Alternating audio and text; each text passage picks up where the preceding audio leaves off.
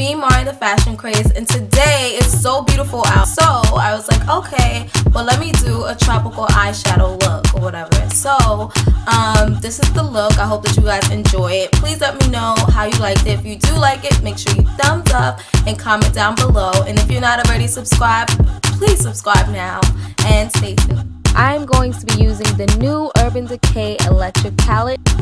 As always, I'm going to start out with my NYX eyeshadow base. Everything else in this tutorial is pretty much self-explanatory and you'll learn by watching. If you have any questions, feel free to put them in the comments down below. And thank you guys again for watching.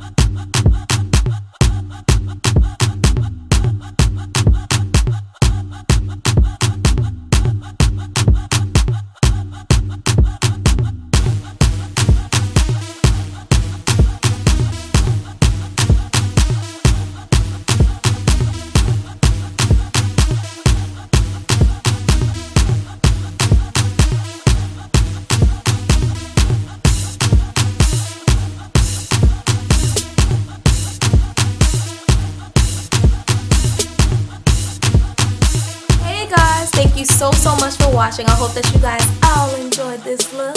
And if you did please thumbs up and share with a friend. Maybe they might subscribe to my channel. Also follow me on instagram at the fashion craze xo and on twitter the fashion craze. Thank you guys so so much and i'll see you next time